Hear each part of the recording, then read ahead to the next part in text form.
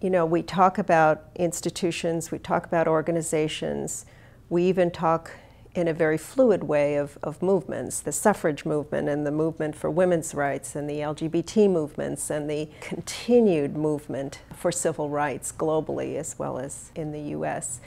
And along the way in those movements, there are key organizations, there are there are moments, you know, I think of uh, the role of Brown versus Board of Education in the U.S. civil rights movement. Organizations, networks, actors, protests, um, key legislative victories along the way, and so they all have a role to play. And so it's incumbent on, on us as people who are invested in this arc of social change to understand these players and to um, broaden our appreciation of what you know what kinds of actors and what kinds of institutions and what kinds of